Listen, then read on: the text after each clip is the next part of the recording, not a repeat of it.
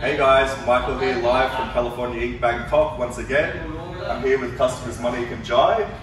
Monique actually won our thousand US dollar competition at Christmas and Jai a partner.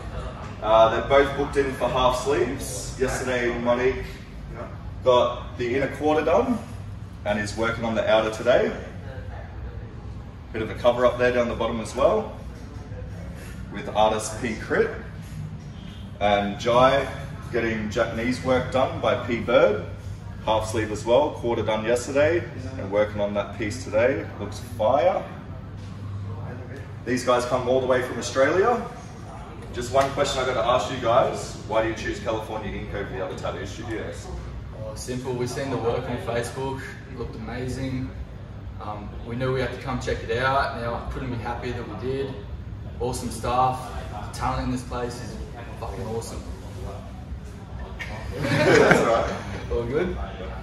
And yeah, I'm, I'm stoked. We're both we're both stoked. So.